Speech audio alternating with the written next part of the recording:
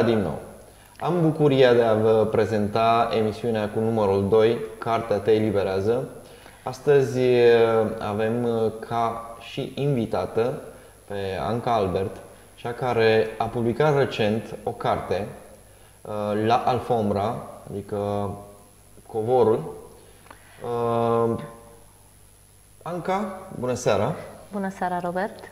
Haideți să aflăm cine ești tu, Anca.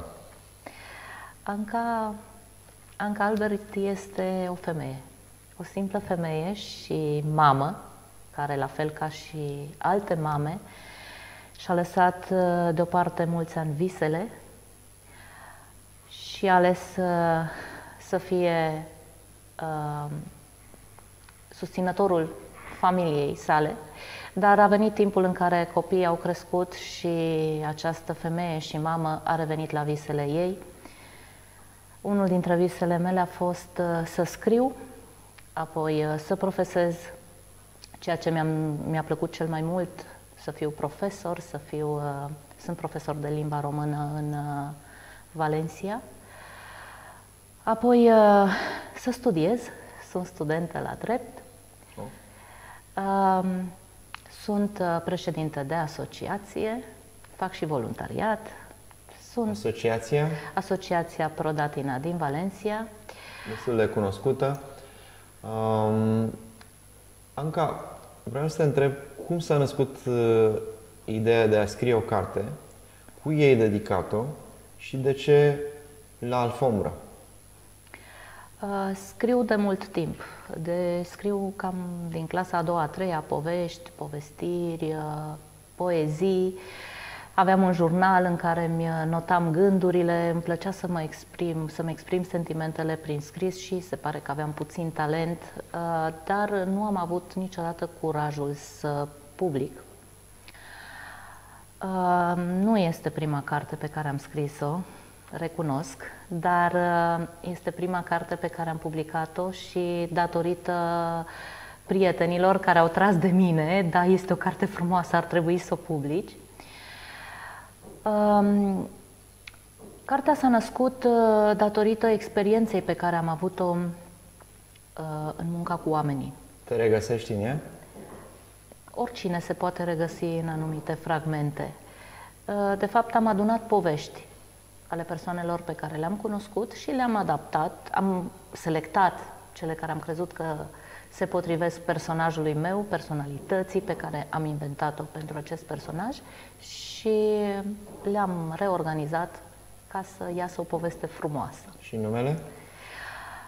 Fiecare dintre noi avem uh, un talisman. A fost direct acest nume? Nu, nu. Prima dată uh, s-a numit uh, Nome Sueltes la Mano, adică mm. nu mă, nu-mi lăsa mână. Uh, Apoi uh, m-am gândit foarte mult și, uh, așa cum spuneam, fiecare dintre noi are un uh, talisman un, sau un loc unde se simte bine sau un obiect care îi aduce noroc, care îl liniștește. Pentru personajul din cartea mea, covorul camerei este locul unde se întâmplă momentele cele mai importante din viața ei, care este martorul mut al lacrimilor, al râsetelor, al, într-un cuvânt, al, ex, al experiențelor um, sale. Asta mi-aduce aminte de aborigeni. Aborigenii au uh, la fel câte un, uh, un talisman um, și ei prin asta își, uh, își exprimă și își dedică viața unui anumit tip de activitate. Um, o altă chestiune pe care vreau să te întreb, Anca, era Uh, tu de ce ai scris-o în spaniolă și nu ai scris-o în limba română? Da, este o întrebare care mi se pune des, dat fiind faptul că sunt româncă, vorbesc bine românește, sunt profesor de limba română. Totuși trăiesc de 17 ani în Spania, am citit foarte multă literatură în ultimul timp în spaniolă, uh, văd uh, televiziunea spaniolă, citesc presa în spaniolă, toate informațiile care îmi parvin în ultimul da, timp alternativ, sunt... asculți și citești și în română? Da, dar mai puțin în ultimul timp mai mult datorită asociației pe care am creat-o, dar uh, până în urmă cu 3-4 ani, uh, contactul meu cu limba română a fost doar la nivel uh, redus, în casă, doar cu prietenii apropiați și atunci e normal. Eu am scris, mărturisesc că am scris primele capitole în limba română și când am recitit, mi-am dat seama că am strecurat foarte multe expresii în spaniolă. Bun, asta nu înseamnă că tu Uh, te-ai îndepărtat de uh, partea națională a României, nu înseamnă că nu ai activități. Uh, eu personal știu că ai activități legate de spectacole mai mici, mai mari, așa cum le-ai putut face și cu Prodatina și cu altă asociație în care ai fost. Ce anume te determină în continuare să te ții legată de pământul românesc? Pentru că noi, cei care am plecat pribegiți, mie nu-mi place să zic diaspora, îmi place să zic că noi suntem pribegiți. Am ajuns, bine, unii au venit în vacanță și au rămas pe aici, că le-au plăcut, dar majoritatea românilor care au ajuns în Spania, și nu sunt puțini, și cred că nu sunt numai scriitori, dar numărul lor este mic. Săptămâna viitoare vom face o emisiune cu un alt scriitor um, din uh, zona pribegiei românești, Uh, sunt uh, printre alții și avocați, sunt, uh, eu am cunoscut și un fizician și un chimist care erau șoferi de taxi. Am cunoscut și foarte mulți și majoritatea celor care au venit să muncească în Spania și au rămas pe aici. Ideea este că pe noi ceva totuși ne, ne întoarce la, la patrie, să zic așa, și totdeauna suntem legați și ne gândim. Faptul că ai scris-o în spaniolă, acum întrebarea vine, o vei traduce și în limba română? Da, o să o traduc și în limba română. Am prevăzut ca în această vară să mă ocup, să mă dedic, să dedic timp pentru a traduce cartea în limba română și a o publica în România. Mi s-a cerut acest lucru. Din lipsă de timp nu am făcut-o până acum, dar vreau să o fac. Referitor la prima întrebare pe care mi-ai pus-o, uh, eu consider că mm, tot fiecare om trebuie să-și cunoască rădăcinile. Nu se poate vorbi despre integrare într-o cultură dacă tu nu știi cine ești. Deci, dacă tu nu ai foarte clar propria ta personalitate, propriile tale rădăcini, cine ești, nu te integrezi într-un loc ci ești absorbit într-un loc. Se vorbește foarte mult de integrarea românilor în societatea spaniolă. Da, ne integrăm dacă știm cine suntem. Dacă renunțăm la rădăcinile noastre, suntem ca niște copaci fără rădăcină. Corect. Cred că noi trebuie să ne integrăm în uh, a oferi respectul țării care ne-a primit și ne-a dat, uh, din punctul meu, eu acum voi spune punctul meu de vedere, Consider că demnitatea eu mi-am câștigat-o într-o țară străină și nu în țara mea. Aici m-am simțit demn, aici am fost apreciat. Am fost apreciat și în România, dar din cauza conjuncturii, corupției și așa mai departe din România, nu am putut să-mi, să uh, mă desfășor și să mă simt demn în propria mea țară. Asta este o, o altă problemă. Um, tu uh, te așteptai ca această carte scrisă de tine pe care prietenii sunt uh, cei care te-au îndemnat să o publici, va avea atât, atât de mult succes? Adevărul e că nu mă așteptam. Uh, multă lume se gândea că fiind uh, o carte despre o femeie în care personajul principal este o femeie, va fi adresată în special femeilor. Nu este o adresare directă femeilor, este o adresare a or, către oricare persoană care a trăit anumite momente mai frumoase sau mai puțin frumoase în viață. Atunci te regăsești deci, în personaj? Ca și Iarăși revin la această întrebare. Deci, în anumite aspecte, fiecare se poate regăsi. Fiecare se poate regăsi. Ești foarte diplomată, în, am în... înțeles. Uh, în continuare, ai și alte proiecte, alte proiecte legate de scris, vorbim. Uh, eu știu că ai foarte multe proiecte. Dar uh, legat de, de acest uh, punct al a scrie, pentru mine, Anca, este, uh, cum să spun eu, o mare o, o frumusețe să cunosc oameni care scriu. Pentru că aveam un prieten cu ani în urmă care îmi spunea un bărbat care nu a construit o casă nu a realizat nimic pe, pe această planetă. Eu consider că cei care au talent și pot uh, spune ceva în scris este o amprentă care rămâne pentru viitor. Este cel mai, cea, cea mai bună formulă ca cei de după noi să găsească sfaturi, uh, personaje, legende în, uh, în aceste scrieri, pentru că noi am trăit cu ele și ne-au dezvoltat. Uh, scriu, scriu o nouă novelă. Nu o să spun cum se numește, că s-ar putea să-i schimb titlul. Și am scris poezie Uh, am uh, multe poezii publicate pe Facebook. Uh, unele dintre ele au ajuns în distribuite și în America Latină. au fost apreciate. Am scris poezii atât în limba română cât și în limba spaniolă. Probabil că următorul volum va fi de poezie, pentru că acei prieteni care mă urechează... Cei care te și îndeamnă, nu? Da, uh, mă trag de mine ca să scot uh, următorul volum de poezie. Mai am încă de lucru, dar uh, să sperăm că la începutul anului viitor va, va apărea volumul de poezie. Mie mi-ar, mi-ar plăcea să văd că începi să scrii mai întâi în limba română. Știu că nu ți este ușor. Eu, personal, am o problemă cu limba română, pentru că pentru mine limba română este cea mai frumoasă și cea mai armonioasă limbă. Emil Cioran zicea mai în glumă, mai în serios, că să treci de la limba română la limba franceză e ca și cum ai trece de la o rugăciune la un contract. De ce este limba română așa o limbă unică, nu că vrem noi, românii obișnuiți, ci că o admiră de la înălțimea propriilor studii, chiar lingviștii și istoricii străini, cărora nu le putem reproșa subiectivitatea. Așadar, să auzim acum 11 motive care saltă limba de bașne a lui Brâncuș pe podiumul pietrelor rare ale României. Româna este singura din grupul de limbi romanice care a supraviețuit în părțile acestea ale Europei.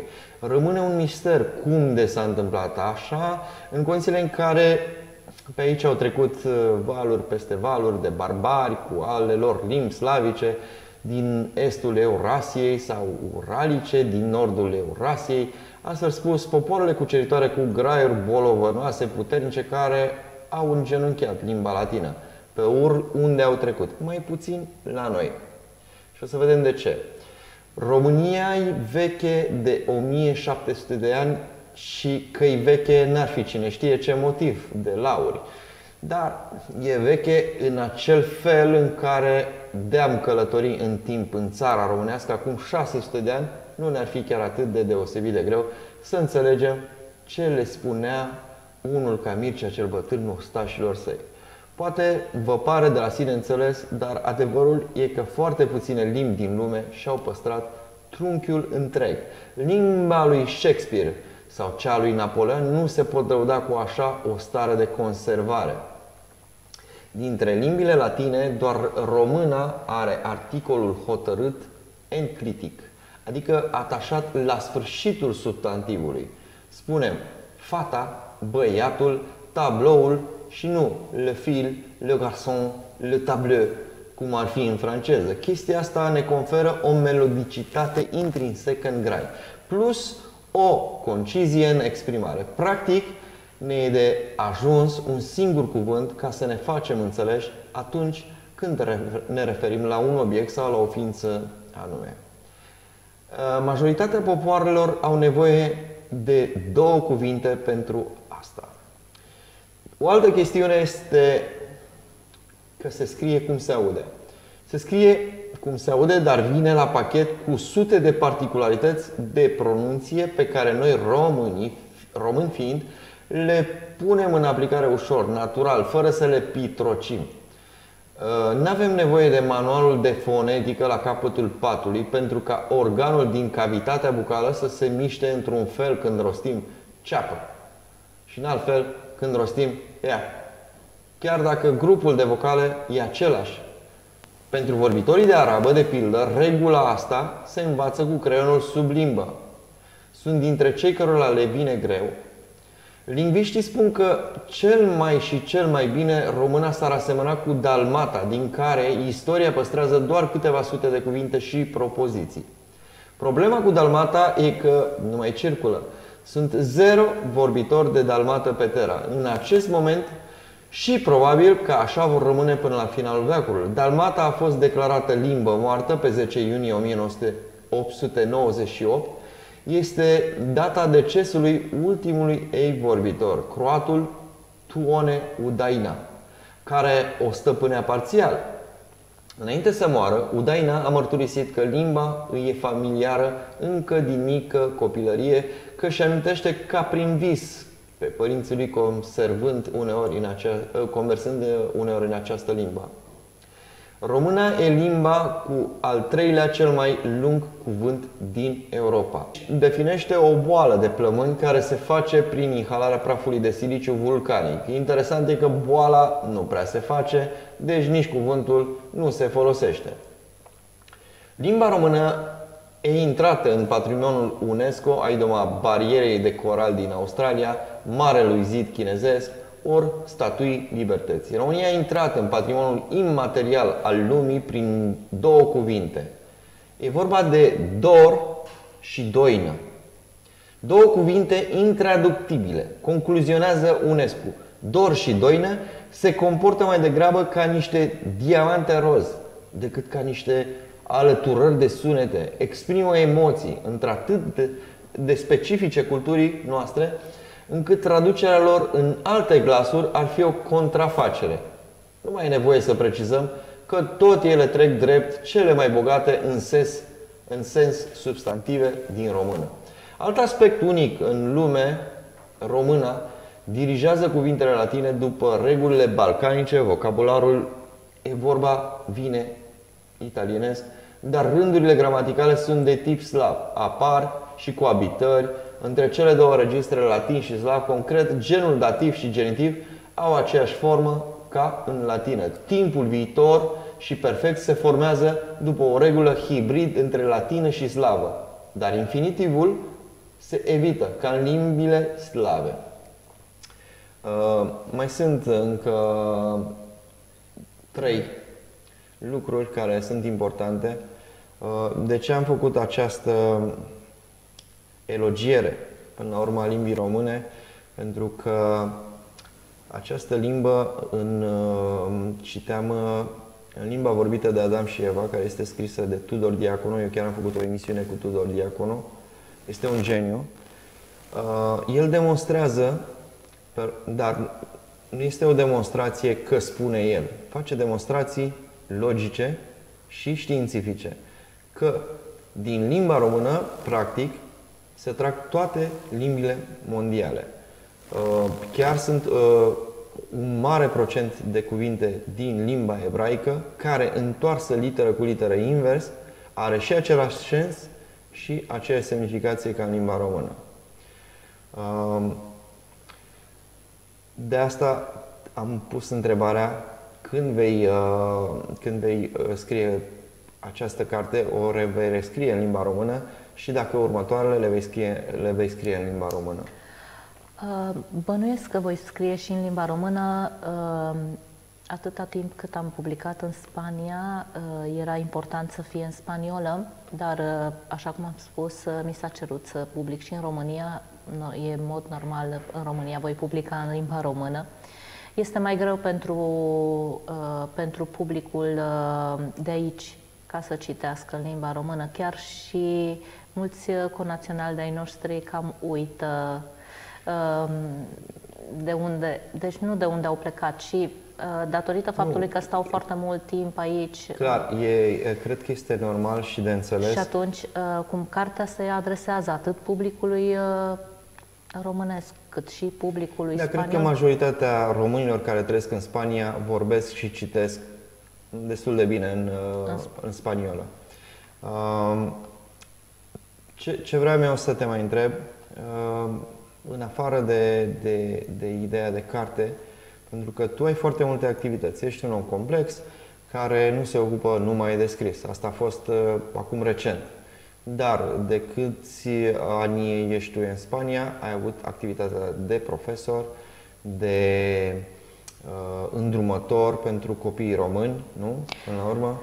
Da, în primii ani uh, mărturisesc că atunci când am ajuns în Spania, am ajuns într-un sătuc din uh, inima Castiei La Mancha, uh, mai precis în uh, provincia Cuenca, în Sailises. Era un sătuc de 500-600 de Foarte locuitori. interesant, eu am vizitat și eu Cuenca și seamănă foarte mult cu zonele din România. Da. Probabil că de asta te-ai putut adapta mai ușor Da, acolo. m-am adaptat doar că uh, mă simțeam, uh, nu mi-a fost niciodată frică de muncă și nici rușine să muncesc orice. Problema e că mă simțeam prinsă, mă simțeam uh, închisă. M- m- efectiv, nu eram fericită uh, cu poziția pe care o aveam.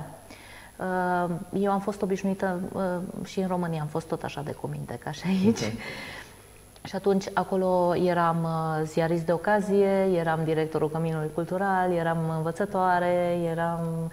Ai lucrat și în radio? Am, da, am lucrat și în radio, deci uh, aveam o activitate complexă și în România. Am venit aici ca să-mi urmez uh, perechea uh, și să nu separăm familia, până la urmă viața este... Uh, și atunci uh, am descoperit uh, undeva în anul 2009 uh, mai mulți români în localitatea de lângă, în Taranconi, uh, care voiau să formeze o asociație și ne-am unit. Uh, Am bătut uh, provincia Cuenca în lung și în lat, dând clase voluntare copiilor uh, români. Ce frumos. Uh, Mergeam în Cuenca, mergeam în Valera de Abajo, mergeam în uh, Barajas de Melo, uh, am fost chiar și în Quintanar de Rey. Uh, Am început să lucrez uh, în cadru, ca și voluntar în uh, cadrul uh, Asociației Isparu Cuenca, din Cuenca, unde am ajuns uh, rapid uh, unul dintre oamenii principali, am fost vicepreședinta asociației, Uh, am organizat uh, tot felul de activități cu români și pentru români. Am încercat să, sco- să scoatem în valoare uh, artiștii români prin expoziții uh, de zilele României. Uh, organizam o săptămână întreagă culturală uh, românească, uh, în care în diferite localități uh, făceam diferite activități cu românii, de la spectacole, la expoziții de pictură, la prezentări de cărți, ale autorilor români din Spania. Și atunci, așa încet, încet, uh, am început, a început să-mi placă microbul acesta și în momentul în care viața m-a adus la Valencia, am activat într-o altă asociație, iar uh, acum doi ani, uh, împreună cu niște prieteni, uh, am uh, fundat propria noastră asociație. Ok. Foarte, uh, tot parcursul ăsta este extraordinar de interesant și mi-aș dori din toată inima să aflăm și despre alți români și chiar uh, pe această cale vă invit să, pf, dacă aveți uh, activități culturale sau uh, sunteți o asociație sau uh, nu știu ce, mi-aș dori din toată inima să prezentăm. Uh, De câteva zile tot încercăm să, trans, uh, să translatăm limba română în spaniolă, ca și spaniolii să vadă și să poată vedea în cadrul televiziunii Dragoi emisiunile și să înțeleagă ce vorbim noi. Um, Eu știu că, în afară de, deci, de faptul că ești un scriitor, ești un profesor, ești un activist într-o organizație non-guvernamentală, Prodatina, uh, ești și cofondator a unui radio românesc, nu? Cum se Da. numește radio? Se numește RoFM Valencia. Deci vă invităm uh, să căutați RoFM Valencia pentru că sunt emisiuni de muzică uh, românească în general, nu? Da, avem, Și- și... avem muzică variată, în, în special preponderent este muzica românească, dar avem diferite emisiuni. În fiecare dimineață de luni până vineri este o emisiune informativă în limba română, avem povești pentru copii, avem ora copiilor, avem un top muzical uh, de muzică românească. Super. Uh, După aceea avem uh, poveștiri uh, care este o emisiune de, uh, în care colega noastră uh, povestește uh, anumite aventuri pe care le-a avut și cum a, a ajutat-o să crească în, okay. în domeniul personal. O, o ultimă întrebare. Când va fi momentul când tu ai spune vreau să mă întorc în România? Mm, nu cred că m-aș întoarce în România decât dacă aș fi nevoită. Uh, mă întreba cineva cum se împacă... Uh, dacă ai fi nevoită, scuză-mă. Da, dacă aș fi nevoită... În ce sens? Să te oblige cineva să mergi cu forță în România? Deci, uh, eu, eu personal, prima oară când am ajuns în Spania, mi-am propus ca timp de 20 de ani să nu mă mai întorc în România. Sperând că cei 20 de ani lui Brucan și cu cei 20 de bani mei propuși, uh, vor împlini 40 și că ceva se va schimba în România. După care am stat un pic mai moală, după primii 10 ani am ajuns pentru prima oară în România. Clar că nostalgia locurilor pe unde călcam și pe unde, unde în copilărie am călcat mă făceau să uh, mi se facă pielea de găină am vorbit cu foarte mulți români și foarte mulți au aceeași, aceeași părere. Nu m-aș întoarce în România. Cred că motivul pentru care românii nu se întorc în România este nesiguranța. Dar dacă ai avea siguranță? Uh, nu. Tu uh, nu, nu te întoarce. Eu, uh, când am plecat din România, am plecat decisă și hotărâtă să-mi construiesc o altă viață. Și atunci, uh, eu cred că acasă este unde te simți bine. Vreau să spun o povestioară. Eu personal fiind într-un bar cu un spaniol, mi-a spus, voi extranjeri. Și am zis, despre cine vorbești? Păi, zice, voi? Însă eu nu mă simt extranjer, i-am explicat. Cum adică, tu nu ești român? Ba da, dar eu sunt în Uniunea Europeană. Și consider că atunci când voi, cei din Spania, ați semnat că doriți să fiți în Uniunea Europeană, atunci a, trebuia să știți că aceasta e și țara mea. Dacă tu te duci acum în România, este Uniunea Europeană și aia este și țara ta. Și poți să consider că suntem din regiuni diferite. De unde ești? Și explicam, tu crezi că un american din Kansas îi va spune unui american din Dallas că nu este american? Nu. Atunci consideră că nu mai ești spaniol, că ești doar un cetățean dintr-o regiune a Europei. A rămas un pic uh, speriat și, într-adevăr, din punctul meu de vedere, consider că, uh, în realitate, ce consider eu este că casa mea este acolo unde mă simt bine și casa mea, în realitate, este acolo unde este perechea mea. Da? Unde eu mă da. duc acasă și sunt primit cu zâmbetul pe buze și cu bucurie. Aceea este casa mea. Da, am fost întrebată de multe ori cum se împacă uh, toată uh, fervoarea asta cu care eu apăr valorile românești cu viața de imigrant și am spus uh, în Spania eu m-am simțit imigrant doar de câteva ori și au fost situații precise, pentru că nu există pădure fără uscături, dar nu m-am simțit niciodată imigrant. Deci m-am simțit unul în plus. Și am încercat să muncesc și să fac același lucru ca și spaniolii, să pun granito de arena, cum spun uh, ei, uh, și am considerat că aici este casa mea, aici este viitorul meu, copiii mei. Uh, cel mare avea 5 ani când am venit, cel mic s-a născut aici. Aici este casa lor. Corect. Ideea este că eu chiar am făcut o emisiune de agradecimiento, de mulțumire Uh, statului spaniol și poporului spaniol, nu pentru, a, pentru că așa am simțit. Uh, foarte puțin, de puțin ori am uh, întâlnit spaniol rasist sau niciodată. Nu cred că am întâlnit vreodată un spaniol care să zic ăsta este rasist. Că nu-i convine că tu arunci gunoiul și ei un alt tip de educație, nu mi se pare că ăsta este rasism. Este o chestiune care nimănui nu-i place un om needucat, nu? Până la urma urmei. Nu am văzut. Am văzut când erau împotriva unor marocani care și-au făcut în mijlocul străzii un foc cu uh, prăjind o, un miel. Și acolo, lăsând uh, gunoaiele acolo. Și erau foarte indignați și foarte supărați. Asta nu mi se pare o formă de rasism. Rasismul este acțiunea cuiva împotriva alcuia, fără justificare. Da? Uh, mai departe, uh, Anca, cred că uh, trebuie să mai uh, continuăm cu foarte multe emisiuni și să informăm oamenii cu activitățile tale în continuare. O să te mai invităm. Uh, va trebui să facem o conexiune între radio românesc pe care tu și cu echipa pe care o ai, uh, dacă vrei, tu poți să le spui tu numele. Da, suntem Iulian, Ioana, eu, Sebastian, suntem cei patru fundatori. Patru. Și apoi avem uh, colaboratori. colaboratori. Da, Maria Mazilu, David Uț, David Beanu, un Cred că este o mare bucurie pentru voi că vă puteți exprima în urmă românește. Uh, noi ne-am mutat, uh, suntem, nu suntem numai noi cei din Spania. Sunt șapte milioane de români la nivel mondial care au plecat din România.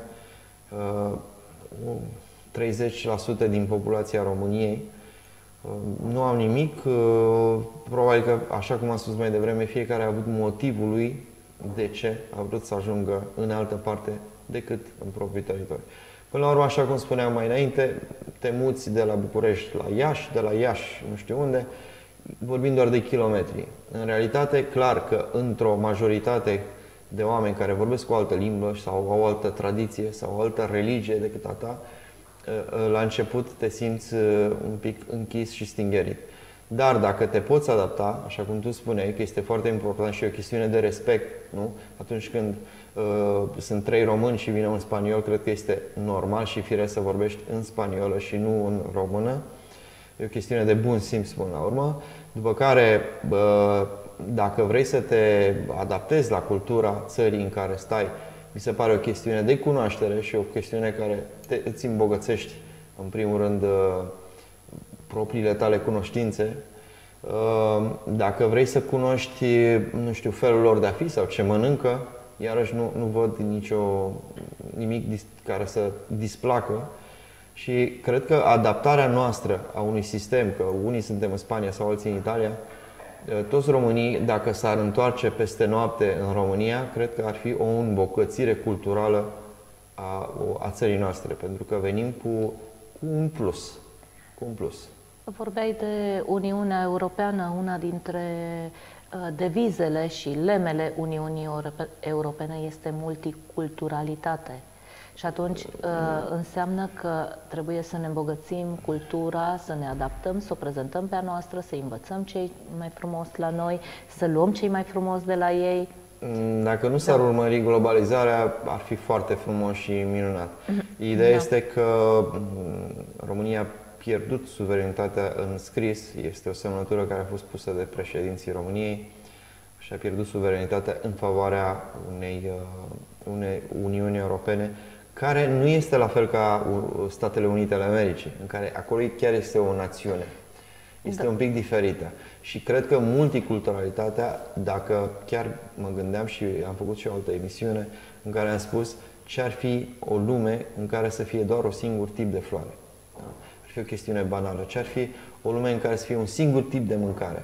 Iarăși, am devenit uh, foarte plictisitori. Și atunci revin la ceea ce am spus înainte, ca să poți să te integrezi, să poți să înveți ceva nou, trebuie în primul rând să știi tu cine ești, exact. să nu-ți pierzi să nu-ți uiți rădăcinile. rădăcinile. Este foarte, foarte mult. Păi, Anca, uh, mi-a făcut o deosebită plăcere. Mă bucur tare mult când întâlnesc și alți români care au și altfel de preocupări decât cele cotidiene. Nu am nimic împotriva celor care au preocupări cotidiene, pentru că așa suntem. Dar cei care, care au ceva de spus ar trebui, în primul rând, susținuți, uh, iubiți și așteptați cu înfrigurare. Vorbesc de artiști, de scriitori, de dansatori, de orice om care face artă, pentru că arta și scrisul ne îmbogățește. Scrisul ce face? Înnobilează. Da. O seară minunată vă dorim tuturor.